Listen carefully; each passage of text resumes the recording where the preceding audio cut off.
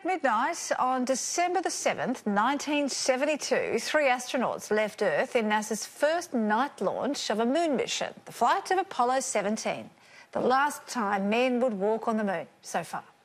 In space, the team set several records, including 75 orbits of the moon and the longest distance travelled on the lunar surface. Mission Commander Gene Cernan and geologist Harrison Schmitt spent three days of exploration and sample collection before blasting off the last man to touch the moon's surface. Two, one, ignition.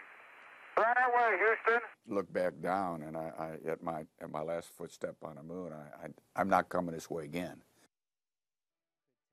They splashed down in the South Pacific Ocean to a hero's welcome.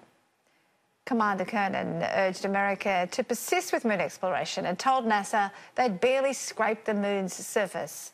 He offered one wish for the future. He didn't want to be known as the last man on the moon.